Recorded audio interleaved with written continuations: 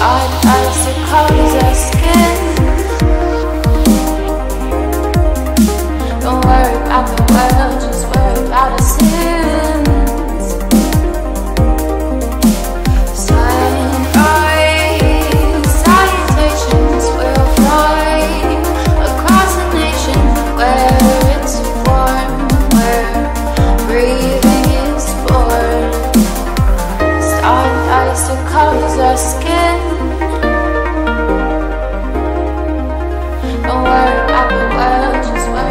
say